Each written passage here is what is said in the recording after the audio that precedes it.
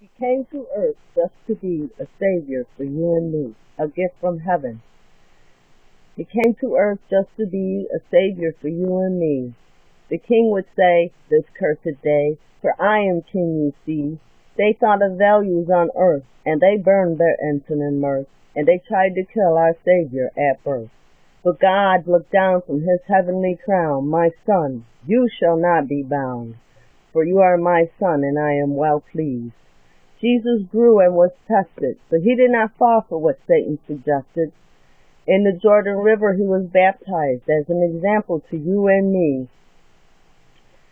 In the garden he would plead, Father, it be thy will, take this cup from me.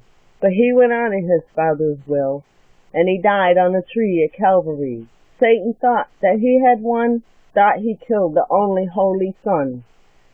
On the third day he rose, and now Satan is the has-been, and for us a new life we begin, a gift from heaven.